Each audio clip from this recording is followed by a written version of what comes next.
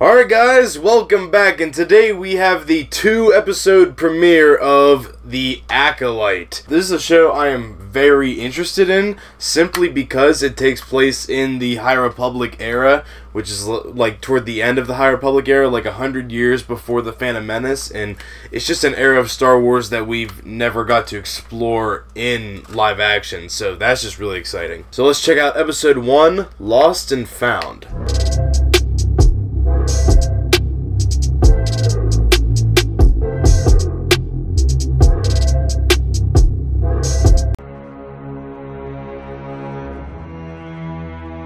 Hundred years before the rise of the Empire.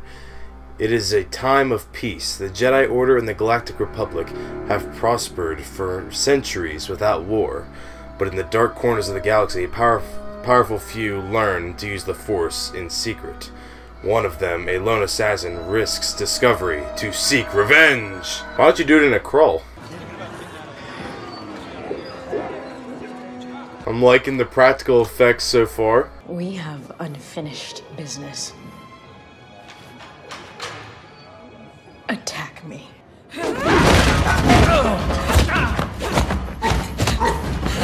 Mm.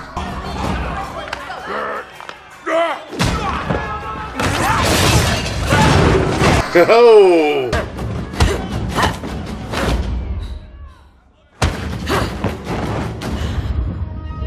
Oh!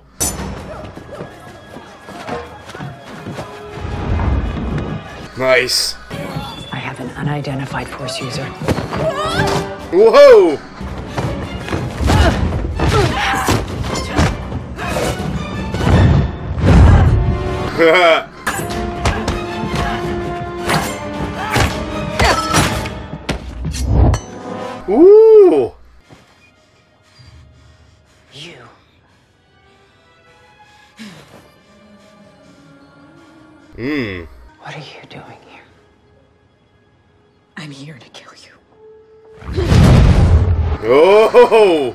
must be the acolyte. Oh! Ah! Ha, ha, ha. Brought knives to a lightsaber fight. Bad idea. Oh! Mmm.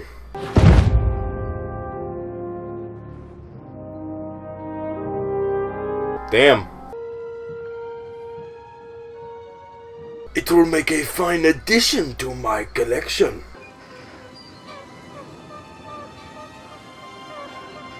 Oh.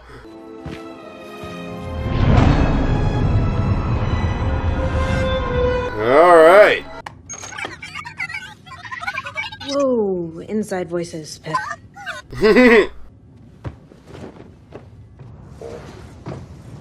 Gonk. What I do with my days off is none of your business, Philip. Ah, no rest for the wicked. Well, the wicked rest, they just don't brag about it. Neimoidians. Uh, the uh, mechanics are on it, Captain. Ah, their grease grubbers are disposable. Our cargo is not. You know, we can hear you. I love how the lips don't match up, kind of like the prequels.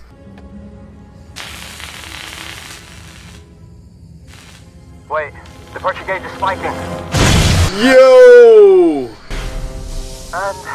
That was the pressure valve. Where's R2 when you need him? The Republic has legislated that only droids may perform outer ship repair. Uh, uh. Sublevel, bunk 23. Thank you for your cooperation. I like the robes. When did you join the Order? When I was eight, Yord knows all of this. A major concern about admitting you to the Order was your age. And the fact that you were mourning. Mmm. You lost your entire family. Your mothers, your sister, your village all died in the fire before Master Sol brought you into the Jedi. Your training was difficult to say the least. Parallels here. That's her! She killed the Jedi and ruined my. Oh. Now that you've been identified, a prison transport will take you back to Coruscant.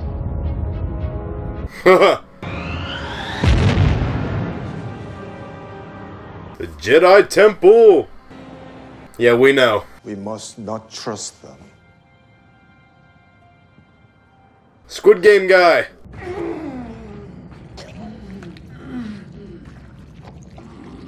Ugh. It's a parasite used to subdue violent criminals. Oh, Yeah, oh. is it hurting him? No way, he's having a great time. It does weird stuff. We're planning an escape. You win?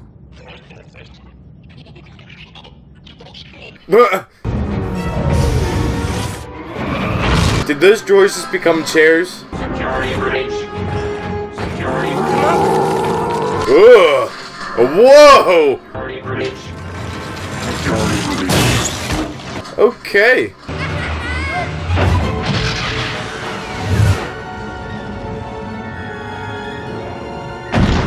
No.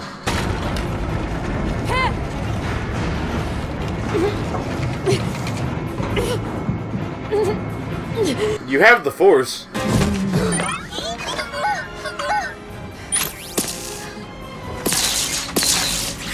Ugh. Whoa, okay.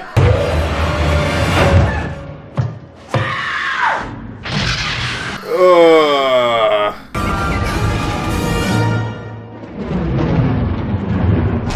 Oh.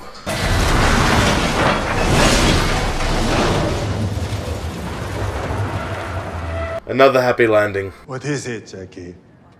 Sorry to disturb you, Master. Vernestra Rwoh requests your presence at the. Hey, it's X23. It wasn't our idea. Worked out well for you boys.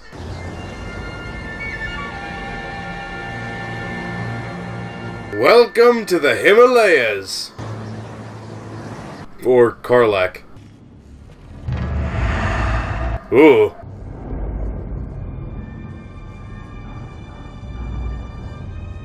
Hey! Uh, it's an Eskimo.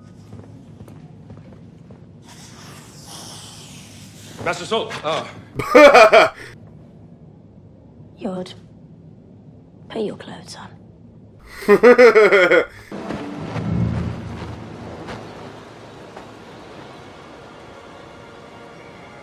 oh. She's hallucinating. Hello, Osha. Mae. Hello, sister. Ah.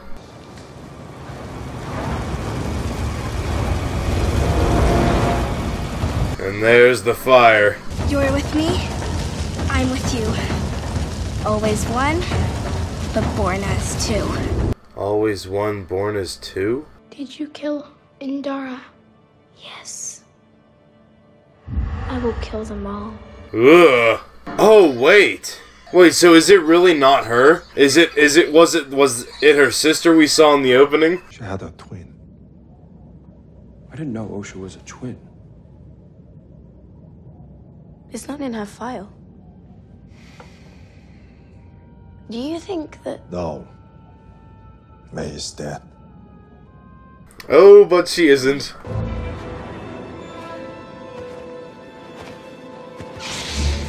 No, oh, yeah. Stop! In the name of the Republic and the Jedi Order! Uh, oh! The Jedi live in a dream. Ooh. If you attack a Jedi with a weapon, you will fail. Steel or laser are no threat to them.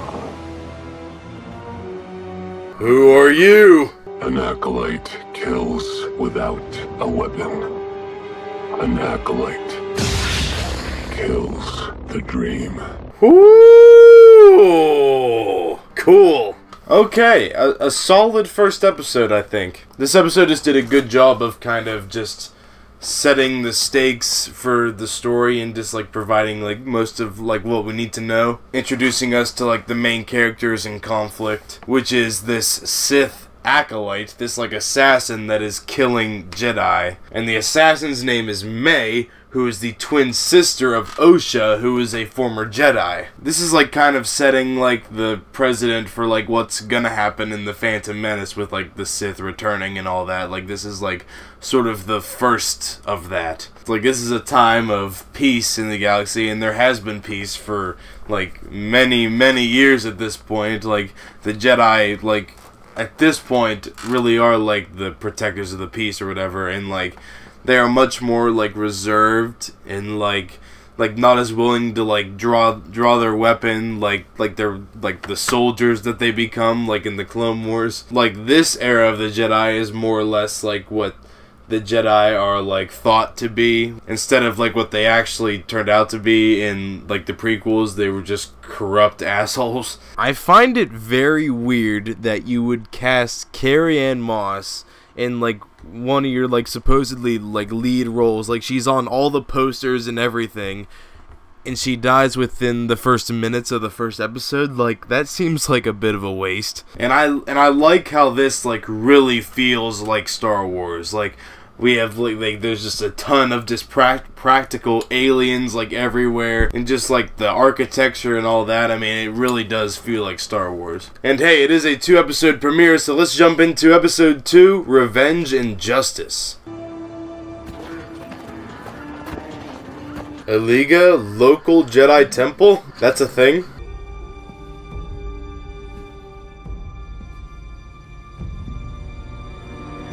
Hmm.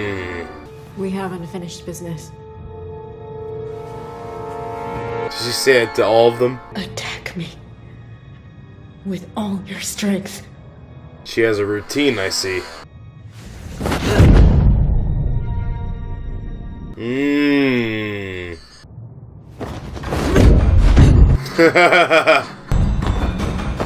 Force field.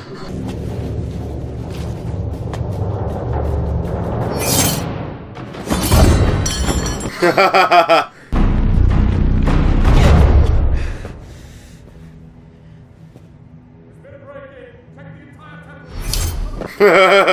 was cool. I'm running out of time. You're running out of Jedi. And if you think a sleeping monk is tough, good luck defeating a Wookiee. I would like to speak with Master Torbin, please. Master Talbot hasn't spoken to anyone in over 10 years. He will speak to me. So he just sits in there and meditates forever, all day, every day, 24 7, 365. Or receive the forgiveness you seek. Right here, right now, from me. Hmm. I've been waiting for you. mate. He speaks. We thought we were doing the right thing. No.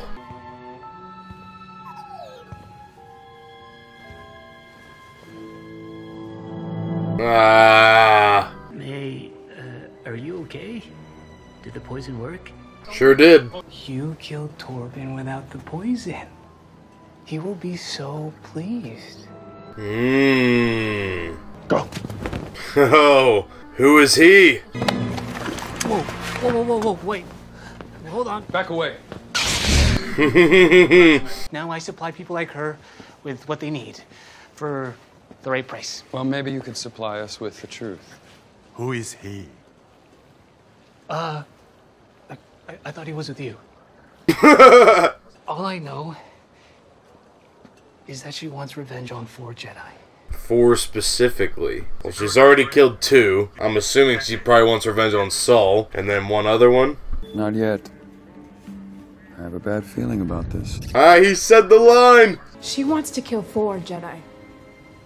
Stationed on Brendok 16 years ago. Indara, Torbin, Kelnacca, and you. Kelnacca. So yeah, she wants revenge on the Jedi that were there on the night of the fire that couldn't save them.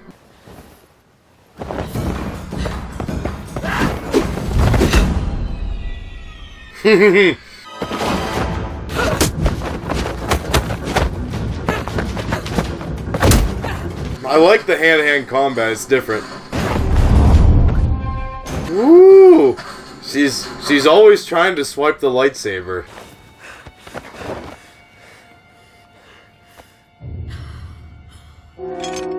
Ah. You have misunderstood the Jedi arts. Your master has failed you. Tell me, who trained you? You fool! I've been trained in the Jedi arts by Count Dooku. My sister is dead! Osha is alive. You lie! Woo!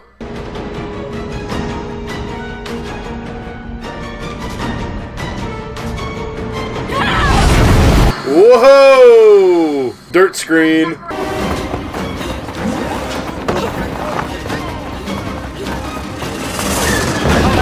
Whoa! Aw.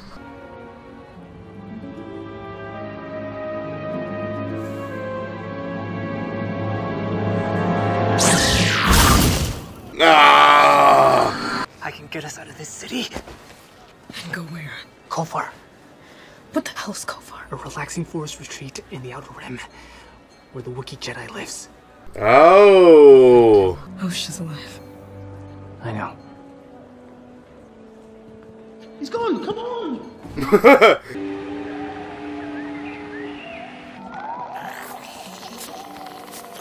Outer Rim Kashyyyk. Geseta la doma toma mota on taku pupachi. Que puta de seta. Kava, Tramskiriski. Mm-hmm. yes!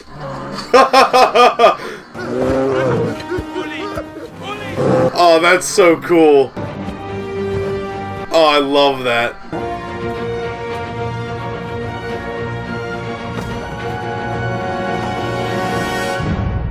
That was cool. Just seeing a live action Wookiee use the Force like that, like we've never seen that before. That was so cool. I can't wait to see more of him in action. That's gonna be really cool. So far, I'm enjoying this show. I like I like the tone where it's sort of like this like crime thriller. Like it's definitely a different tone for Star Wars, and it's different. I like that, and I like the mystery that they're setting up with this. Whoever this like Sith Master is. And the choreography in these first two episodes has been great. Like there hasn't been like a lot of lightsaber combat yet, but like like the hand-to-hand combat, which is like nice and different that we haven't got to see in a lot of live-action Star Wars. It's like it's very well choreographed, and I enjoyed it. Like it's very martial arts focused, and I and like obviously like the lightsaber combat is very like samurai inspired, like those classic Japanese films that George Lucas watched but like this is like like the specifically the hand-to-hand combat is really cool. So overall i enjoyed these first two episodes. I think it's a good start for this series. Nothing's really wowed me yet but i like what they're setting up for this series and how it's different from really anything else we've ever gotten from star wars. So that's gonna do for my reaction to the first two episodes of the acolyte. Hope you guys enjoyed and i'll see you guys next time.